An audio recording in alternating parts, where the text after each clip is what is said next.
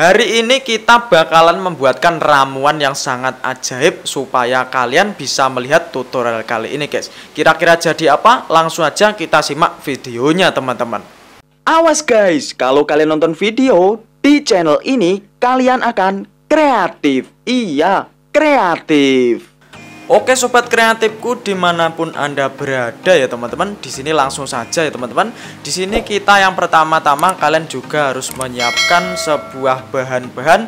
Tentunya ini perlu kalian butuhkan ya teman-teman. Di sini yang pertama-tama ada garam dapur. Pasti emak kalian di rumah pasti punya. Kalau tidak punya dijamin kalian akan uh, kering kerontang ya teman-teman alias keluwen. Nah seperti ini untuk garam dapurnya. Nah ini kita pakai garam halus ya teman-teman supaya e, bisa kita gunakan atau mudah dalam pencampurannya nanti. Oke kita masukkan lagi ya bos. Kita tutup.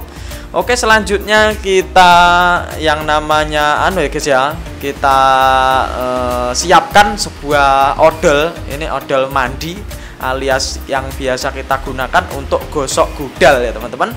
Oke setelah itu kita siapkan ini yaitu Pepsodent Oke, mantap. Selanjutnya di sini kita juga membutuhkan sebuah sabun colek alias sabun e, isah-isah ya, teman-teman. Kita membutuhkan. Pasti emak kalian juga pun ini punya ya, teman-teman. Oke, mantap. Selanjutnya di sini kita membutuhkan air sumur. Ini air keran, ini bukan air minum ya, teman-teman. Tentunya kalau kalian minum air ini dijamin perut kalian akan kerocok-kerocok alias sakit perut. Selanjutnya di sini kita juga membutuhkan sebuah tabung semprot ya. Di sini tabung semprot saya menggunakan bekas yang namanya e, bekas parfum ya guys. Kalian pasti punya. Oke, mantap. Ini pasti ada selangnya supaya mudah nantinya. Oke, selanjutnya di sini langsung aja kita siapkan untuk yang kita siapkan pertama yaitu tabung semprotnya. Nah, untuk tabung semprot ini ini yang sudah saya siapkan tadi ya, tentunya yang bisa digunakan untuk menyemprot yaitu cairan-cairan.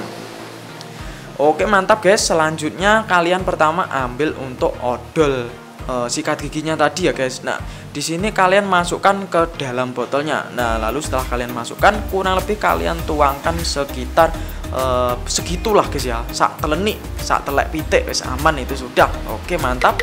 Selanjutnya di sini kita ketok-ketok supaya odolnya itu jatuh ke bawah ya supaya bisa lebih kita lihat ini banyaknya seberapa ya segini guys kurang lebih ya satu sendok makan saja. Tidak usah banyak-banyak. Nanti e, diseneni makmu guys. Oke mantap. Selanjutnya di sini kita siapkan untuk garam dapurnya. Nah untuk garam dapur ini kita yang sudah review di awal video tadi ya bos. Langsung aja kita masukkan kurang lebih ya satu banding satu dengan odol tadi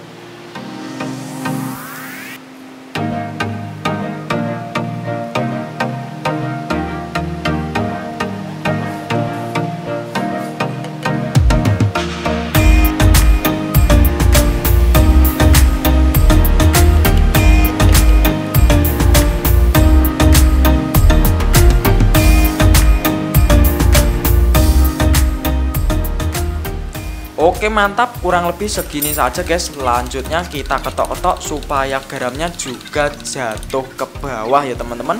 Oke mantap. Selanjutnya kita siapkan yang namanya sabun colek ini. Nah untuk sabun colek ini perbandingannya satu banding satu juga ya teman-teman Dengan odol juga garam dapur tadi. Ini perbandingannya satu banding satu ya ya, kurang lebih seperti itu. Tidak harus satu banding satu nyel ya teman-teman.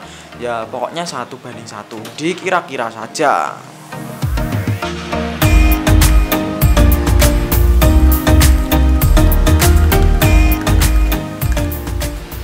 Oke mantap guys. Kurang lebih seperti ini ya setelah kita masukkan ketiga bahan tadi. Oke selanjutnya di sini langsung aja kita masukkan airnya tadi guys. Ini air sumur saja sudah cukup Kalian masukkan sekitar separuh saja ya. Nanti kalau full tidak bisa dikocok. Oke mantap. Selanjutnya kalian lepas untuk selang semprotnya Supaya tidak termasukkan dari tiga bahan tadi. Kita lap sedikit ya guys ya Supaya e, cairannya itu garing. Oke Selanjutnya kita tutup seperti ini Lalu kita kocok supaya tiga bahan tadi tercampur dengan rata. Untuk cara mengocoknya tinggal kita kocok seperti ini teman-teman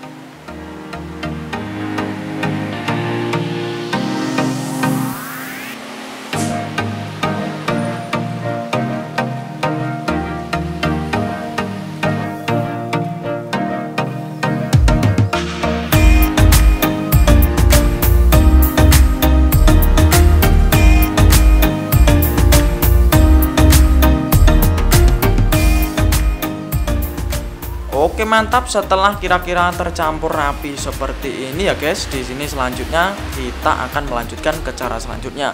Di sini langsung saja kita buka seperti ini terlebih dahulu ya teman-teman. Nah, selanjutnya kita langsung tambah air tadi. Airnya langsung aja ditambah supaya cairannya tadi bisa full ya teman-teman, supaya lebih awet dan tidak mudah habis. Jadi kita tinggal tuang saja airnya tadi.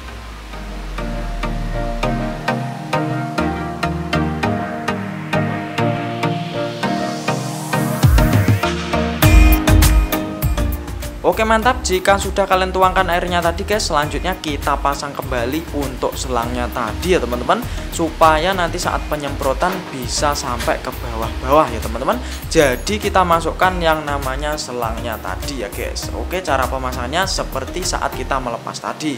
Jangan lupa dilap pada bagian air yang kerotosan. Oke langsung saja kita pasang ke dalam tabung semprot tadi ya teman-teman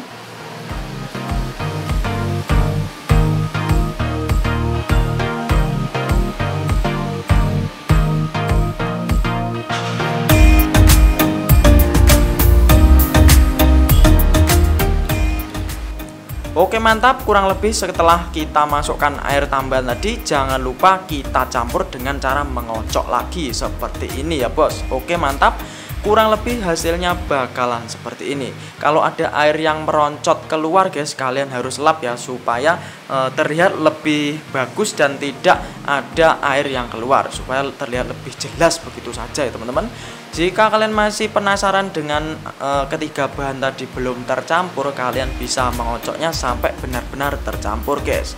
Oke mantap, ini ramuan sudah jadi guys, yaitu ramuan pengusir semut dari rumah kalian. Nah, jadi tiga bahan tadi setelah dicampur ya seperti ini hasilnya guys, seperti hijau. Nah, ini warnanya hijau seperti susu kedelai ya. Mungkin ini ada yang belum tahu dikira susu kedelai, padahal ini adalah kalau diminum bisa jadi racun guys, kalian bisa mati. Jadi ya jangan diminum ya. Makanya kalau kalian menyekip video ini dijamin tidak bakalan e, tahu isi video. Oke untuk cara pengaplikasiannya di sini kita tinggal semprotkan ke bagian-bagian uh, yang biasanya itu ada semutnya ya teman-teman. Supaya semutnya itu uh, tidak nyaman dengan sarangnya jadi otomatis setelah kita semprot seperti ini dijamin semut kalian eh kok semut kalian? Uh, semut yang ada di rumah kalian guys itu bisa tidak nyaman dan akan pergi ya teman-teman. Ingat ya ini tidak membunuh tik anu tidak membunuh semut ya guys ya. Tidak membunuh semut. Karena membunuh semut itu ya dilarang ya teman-teman. Ini hanya e, membuat semut itu itu anu guys ya. E, dia bakalan tidak nyaman dengan habitatnya. Jadi otomatis dia setelah merasa tidak nyaman dia bakalan pergi dan akan meninggalkan rumahnya atau rumah kita guys. Jadi rumah kita aman dari semut. Oke guys bagaimana? Apakah bermanfaat Oke, jika kalian bermanfaat ya atau kalian merasa bermanfaat, jangan lupa di like video ini.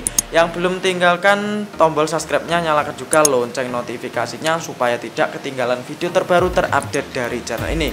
Oke, sekian terima kasih. Wassalamualaikum warahmatullahi wabarakatuh, teman-teman.